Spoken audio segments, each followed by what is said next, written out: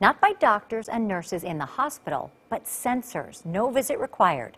Local researchers are bringing engineering precision to the front lines, and the data may help bring a better understanding of COVID 19 it's more or less like a band-aid is, is the way you can think about it. The technology is already in use in the neonatal intensive care unit to monitor sick babies. Flexible gel sensors that adhere to the skin and detect critical health information. In stroke patients, the sensors monitor speech and swallowing.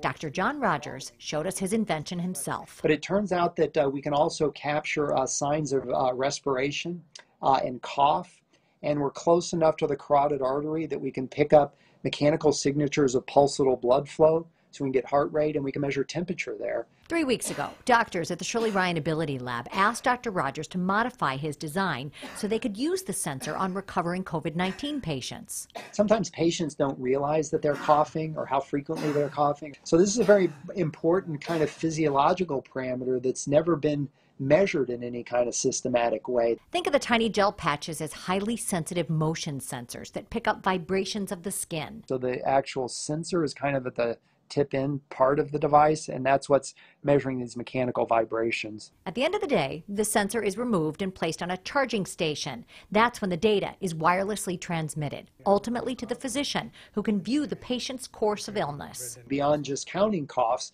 to assessing whether a cough is a dry cough or a wet cough, whether a patient is swallowing after their cough, and maybe specific features that relate to COVID 19 itself. I think that's kind of where we're going. The sensors can be worn in the hospital and at home after discharge to make sure the patient continues to improve. We're tracking the symptoms to make sure they're not deteriorating, for example. If they are, then you know, bring them back to the hospital. There are 25 sensors in circulation right now, some worn by frontline healthcare workers to monitor for early signs and symptoms, others on patients receiving experimental therapies. You have all these different therapies that are being uh, tested on an experimental basis. It would be nice to have a quantitative foundation of data on efficacy, right? And, and this could, could help in that context. The goal is not just to collect data, but to learn about the nuances of COVID 19. I think the, the reality is there's still a lot of unknown about how this disease develops. And uh,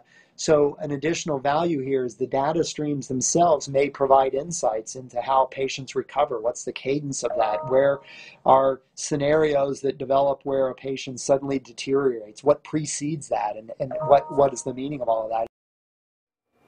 Dr. Rogers says 25 more sensors will be distributed in the coming weeks. The technology is made in-house right now and is easily sterilized.